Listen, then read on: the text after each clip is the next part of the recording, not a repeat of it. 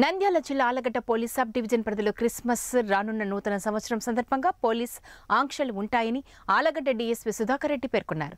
తమ కార్యాలయంలో ఆయన విలేకరులతో మాట్లాడుతూ రానున్న వారం రోజుల పాటు పోలీస్ శాఖ గట్టి నిఘా ఉంటుందని తెలిపారు.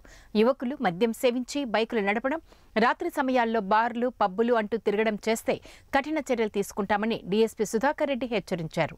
పండుగను కుటుంబ సభ్యుల మధ్య ఆనందంగా జరుపుకోవాలని సూచించారు.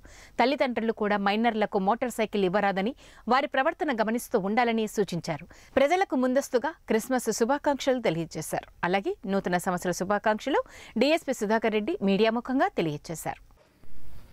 రాబో క్రిస్మస్ పర్వదిన సందర్భంగా మరియు అదేవిధంగా నూతన సంవత్సరం జనవరి ఇరవై ఇరవై మూడు దృష్టిలో పెట్టుకొని ప్రజలకు పోలీస్ శాఖ తరపున కొన్ని సూచనలు చేయదలుచుకున్నాము.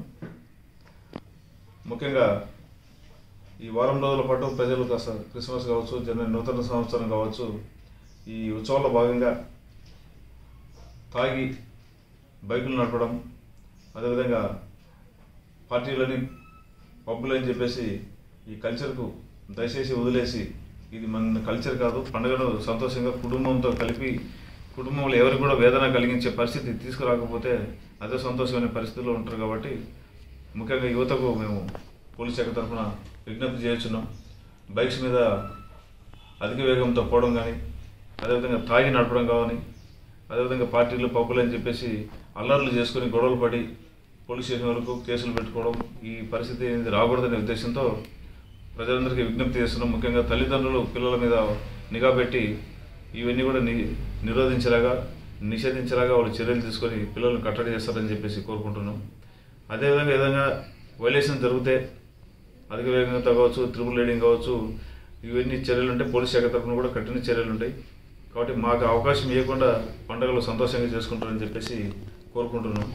అదేవిధంగా ఈ ముఖ్యంగా మా యొక్క విజ్ఞప్తి కొద్ది రోజులుగా చూస్తుంటే యువత ఒకరికొకరు తోడైపోయి ఆవేశంలో శనికావేశంలో తెలిసి తెలియక వయసులో అర్థం చేసుకోలేక కొన్ని నేరాల్లో కూడా పాల్పంచుకుంటున్నారు. ఇటువంటిని కూడా అవగాహన చేసుకొని ఈరోజు మీరు తొందరపడవచ్చు రేపు తర్వాత కేసులు కావచ్చు కోర్టుల చుట్టూ తిరిగే పరిస్థితి తీసుకొచ్చేసి అందరికీ బాధపడే పరిస్థితి ఆ తర్వాత మళ్ళీ పోలీసు శాఖ